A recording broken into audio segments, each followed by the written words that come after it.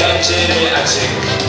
Bak kitap kapalı işte şimdi açık Pencere kapalı Pencere açık TRT Çocuğun en sevilen çizgi filmlerinden biri olan Kare takımının karakterleri Margi Hotel balo salonunda miniklerle bir araya geldi. Kuti, Aypa, Rupi ve Enda çocuklara müzikler ve eğitici etkinliklerle eğlenceli dakikalar yaşattı. Kapalı açık kapalı